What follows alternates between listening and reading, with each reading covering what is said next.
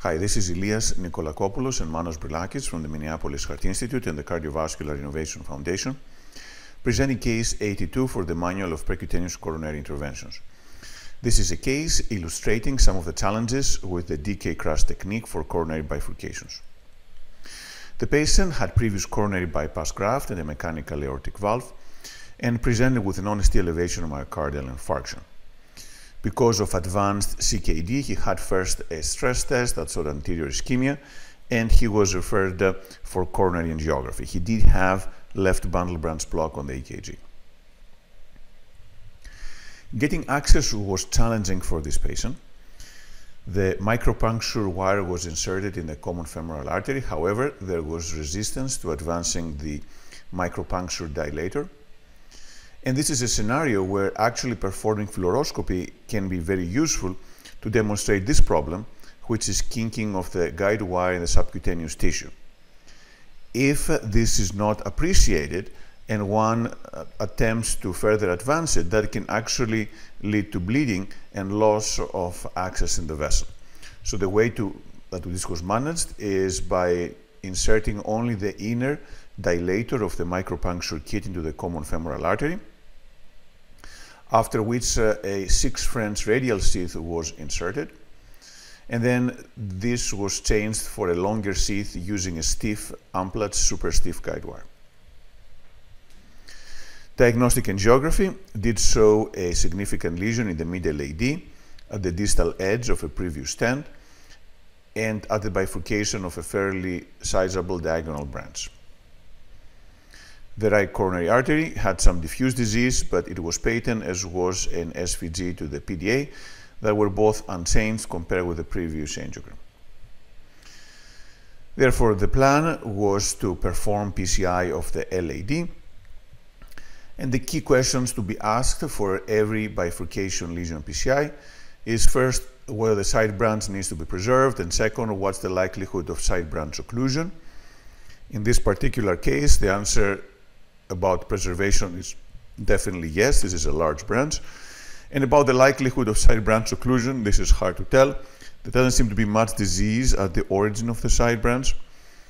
Um, however, the angulation is a little narrow as well.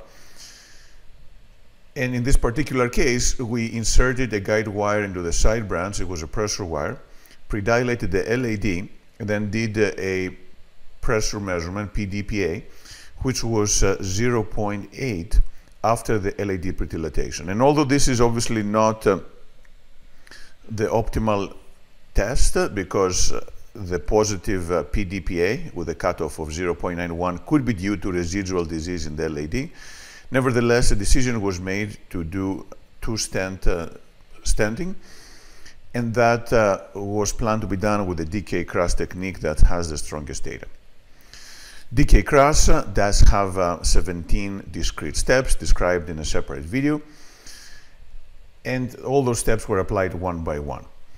Predilatation of the side branch was uneventful. A drug-eluting stent was placed in the diagonal, protruding back into the LAD.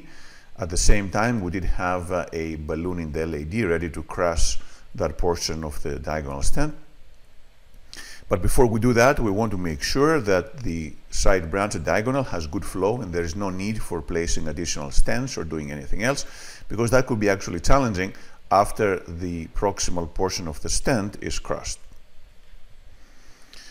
After this was confirmed, then the LAD balloon was inflated, crushing the protruding portion of the diagonal stent into the LAD. And then the next step is to rewire the side branch and remove the jailed side branch wire. And this step ended up being challenging. A workhorse um, wire did not uh, succeed in entering the diagonal branch. And the way around this is to use a polymer jacket wire, such as the Sion Black, which was used in this case, or sometimes use a microcatheter that can support the wire, either a regular microcatheter or a dual lumen one that can help also prevent the wire from getting under the stent struts. After the, wire, the diagonal was rewired, then uh, the jailed wire was removed. And then the next step is to deliver a balloon and to perform um, the first kissing inflation. But unfortunately, the balloons would not cross into the diagonal branch. And the way around this is to try smaller balloons. 2.0, 1.5 millimeter were tried and did not succeed. And then try an even smaller balloon, and the 1.0 Sapphire Pro is the lowest profile balloon in the US right now, and that's preferred. And actually, this did work in this particular case. If this didn't work, the other option would have been to take another wire and rewire, because sometimes the course of the wire is uh, through uh, multiple layers of the stent struts, and that may be the reason why delivering a balloon in the side branch is challenging. After this, the first kissing balloon inflation was performed, followed by insertion of a stent into the main vessel, the LAD. The stent um, was uh, positioned and deployed, followed by the proximal optimization technique with a short balloon, followed by the second kiss, which uh, requires rewiring. A nice tip is to first uh, try to use a loop a knuckle of the wire to avoid getting under the stent struts. And then the Sion Black once again successfully recrossed into the diagonal branch.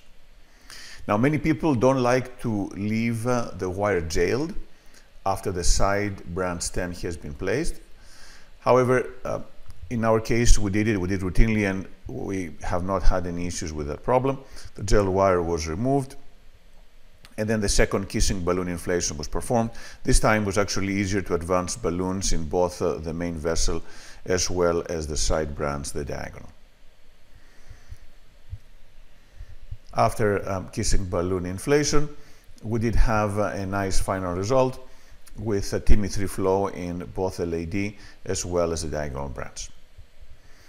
So this case uh, demonstrates some interesting findings. One is that if there is kinking of the micropuncture wire, it is important to realize this and avoid losing access and exposing the patient to high bleeding risk. And one way to do this is by inserting a stiff 0.018 inch wire, such as the Platinum Plus, and then switch for a long sheath over a stiff wire. Second lesson is about uh, how to approach difficulty rewiring through the struts of the crushed side branch stent and uh, that in our case was done using a polymer jacketed guide wire, the Sion Black. Another option would be to use a microcatheter. And the third one is what to do if there is difficulty advancing a balloon in the side branch. And uh, the options are to try low profile balloons with the Sapphire Pro 1.0 being the lowest profile currently in the US, or um, if this doesn't work, then rewire and try it again. Thank you.